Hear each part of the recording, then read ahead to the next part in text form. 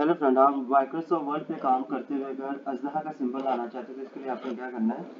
One F four zero nine alt X इस तरह अजहा का सिंबल आएगा। Thank you